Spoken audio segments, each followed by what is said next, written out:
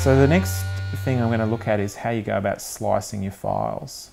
Uh, now you've really got two choices here. You can use MakerWare which comes from MakerBot um, or you can use the open source Replicator G. Now MakerWare is a product that's designed to simplify everything so that you can just put your, organize your um, parts and print them.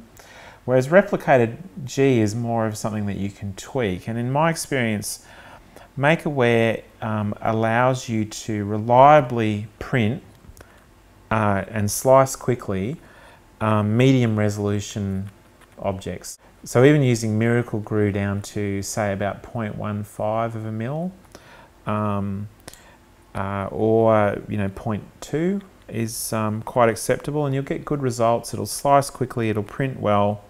Um, but if you want to get right down to 0.1 layer heights, um, I think that Replicator G just consistently gives you better results and it's easier to tweak the Skeinforge preferences in Replicator G than it is in MakerWare at the moment. I'm sure that's going to change in future, um, but right now that's the case. And the other big issue is that Skeinforge, because it runs under Python, runs incredibly slowly under MakerWare, whereas if you can install PyPy, which is a um, compiling optimizer for Python, um, Skeinforge runs five to 10 times faster. It's really an enormous difference and it's well worth doing.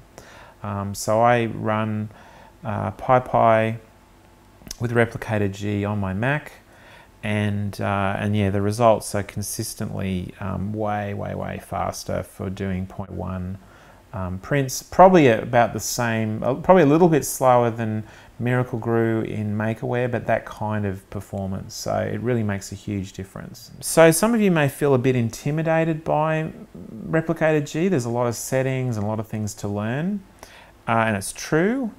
Uh, but once you've got it dialed in, and I've got some profiles online where we're getting pretty close to getting uh, the kind of results that work for everybody.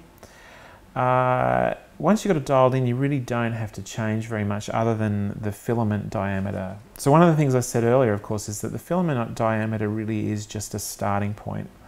Uh, you've really got to be able to look at your print and look at the quality that's coming out and diagnose whether the diameter that you measured and entered is actually right. If you're putting out too much plastic, you'll have to increase the diameter slightly and it can be uh, by small amounts, like 0.02 of a millimeter, can make quite a difference in the print quality. It's, it's quite amazing.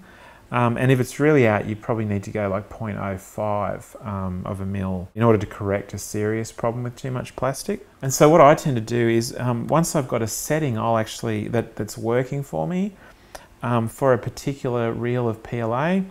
Um, I've got a paint marker which um, is here, which will write on just about anything.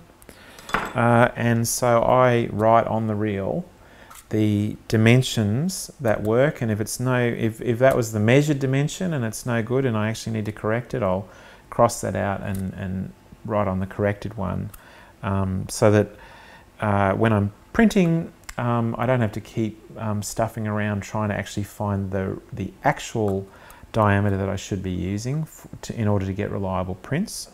So if you've got parts that you want to print regularly and you want to print them in different colors, one of the problems you're going to run into is of course that you've got to have different diameters, filament diameters, for different colors for those parts to print reliably.